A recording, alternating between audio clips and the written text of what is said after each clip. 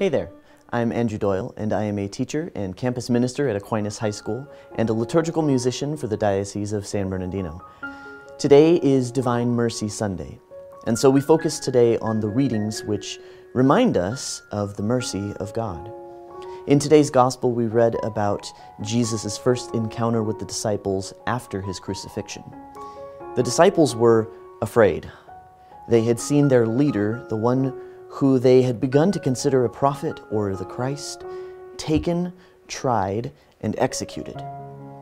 They must have believed that they would be next for following him.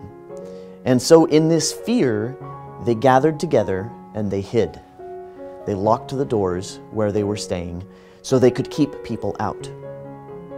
They were probably wondering what to do next.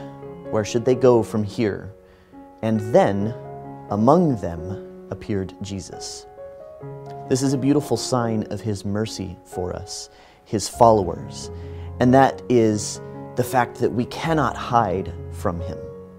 He will always seek us out, even if we are lost, afraid, unsure of what we are doing, or ashamed of what we have done.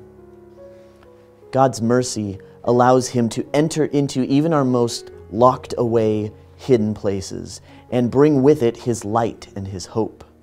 Now, here is the next thing that Jesus brings. He tells the disciples, Shalom, or peace be with you. This peace is not simply peace from war or peace in the moment, but it is a peace that is meant to call to calm both mind and soul. This peace that he brings should quell all of our earthly and existential fears. Summed up in all of this is the recognition that God will pursue us in order to bring us peace. And His mercy is so great, so divine, that it doesn't matter where we are or what we have done. There is nothing that the grace of God cannot overcome. And so today, we should recognize what are the locked doors in our lives? Where are the places we hide? And we invite the Lord to shine His mercy and light and peace into those areas of our lives. Let us pray. Lord, we thank you for bestowing on us the gift of your mercy. We know that we could never earn it, and yet we are beneficiaries of your grace.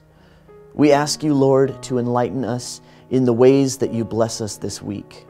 Help us to feel your renewing love and peace in our lives.